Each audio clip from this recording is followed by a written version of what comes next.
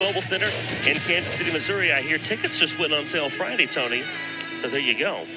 Well, there'll be a lot more matches like that. I mean, that's going to be uh, uh, if you like great, what you yeah, right? if you like what you just saw, book your airfare and your room in Tulsa right now. 157 will see Teague Travis, number 20 in the country, out of Stillwater, Oklahoma, against Alex Hornfeck, who goes for West Virginia out of Mars, Pennsylvania. He's a fifth year. Hornfeck and Caleb Dowling the last few years for West Virginia have kind of swapped that 157 spot back. Dowling not going today. Hornfeck is. He's 5 and 4 this season, 58 and 55 in his career. Travis 14 and 1 this season and 6 and 0 in duals. And giving us about 30 seconds here to catch our breath after a couple pretty intense bouts at 141 and 149 those were uh, those were outstanding matches. They were great college matches that, that were competed all the way down to the last second. I mean, worth the price of admission or whatever you paid for ESPN Plus. whether you're watching at the Coliseum or whether you're watching at home. And some yeah. people here at the Coliseum are literally only about three to four feet away from the mat. they are. They have had some of those scrambles come right into their lap.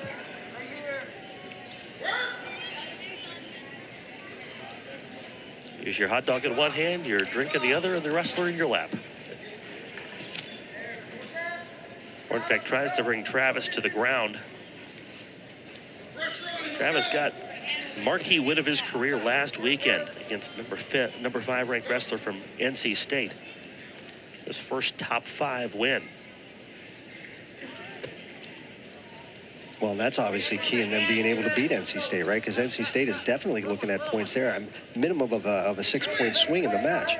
Yeah, 2024 has been kind to Oklahoma State. They, with the win Friday against Pitt, as a team, have now won four straight road duals. That's their fourth ranked win of the season. They're looking for number five in both of those categories here at the WVU Coliseum today. John Smith was talking a lot about the importance of the dual and how that is a big tool in bringing fans to wrestling. He said, that's what I watched when I was a kid. I, I didn't go to nationals. I went to duals as a kid. Well, it's true that not many people were able to go to nationals. At least now it's on TV. But being in, in the in the facility watching something is definitely different than than when you're watching it, whether that's streaming or on TV. So and a nice crowd here, as you said, a lot of them close to the action. A lot of these young people are getting hooked on the sport by what they're seeing today. Well, it, this is some good stuff right here. That's a nice shot, like a high crotch, the, an inside single high crotch, and turns it into a single, goes to the outside. Hornfeck tries to get the leg free. Well, they got that sort of shin whizzer. He's got the whizzer in, and you see... Uh, Swing and a miss for Travis, the second leg. Gets him to the knee the second time and, and runs out of time. Period. So that's some nice defense, right? That nice defense by by Hornfeck. Here he is, got Travis in a good single leg. He's got him up in the air pretty good. Hornfeck is tall, which can create some problems with trying to trip. And uh, time runs out. 0-0 going into the second period. Certainly changes center of gravity, changes leverage, where you can sweep that leg. Well, you, you, you think things are in a place, and then they're not. Right. If your math teacher figure that one out. We teach you geometry and physics all at once. All at once, right? Exactly. Still looking for our first points of what was a, a slow starting bout between Hornfeck and Travis, but business starting to pick up. Well, Hornfeck with a kind of cross body ride, really trying to rip that shoulder back, bring the arm back so that he can Travis bar it slowly but surely trying to get to his feet. A setback as Hornfeck leans in on his back.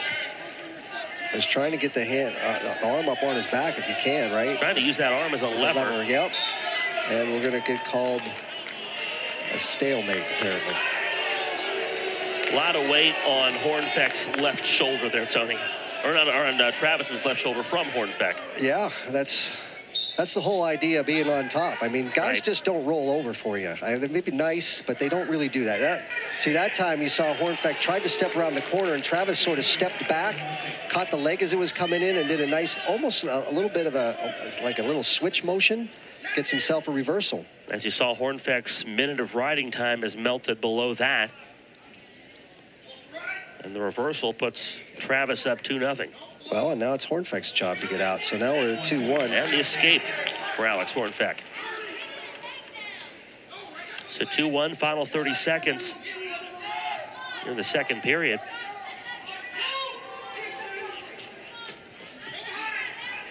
So the challenge with being taller is it's hard to stay down in position. Right. Uh, at the other, at the same time, uh, the challenge when you're wrestling somebody who's taller is you, you. They can reach places you can't. Yes, exactly. So Both these guys trying to figure out how to use their respective heights to their advantage in this one, and they'll have to carry that into the third period. And we got a doozy coming up at 165. Peyton Hall and Izzak Olejnik. We talked about that one in the open today. Hall will see three of the top five wrestlers in the country here in the next three weeks. Olejnik unbeaten at 16 and oh. 0. Well, you know what? He wins some of those, and then he's a top five guy in the country. That's the way it goes, Yeah.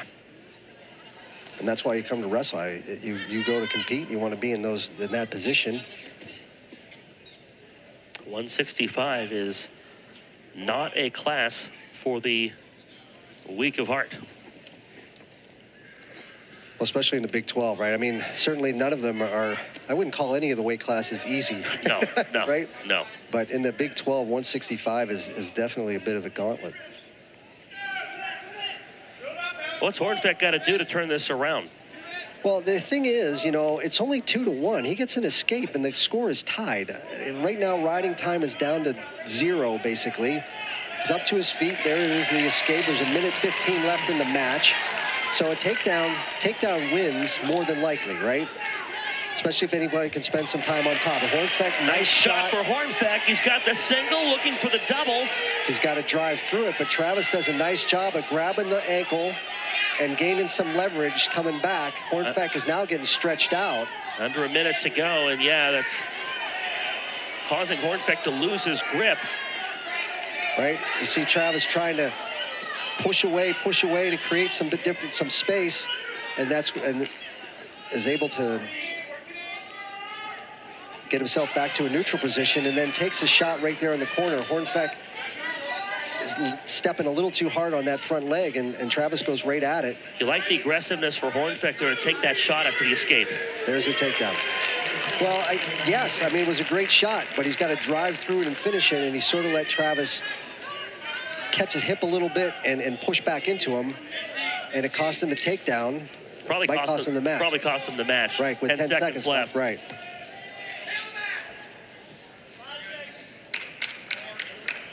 So aggressive for Alex Hornfeck after getting the escape point to tie it up.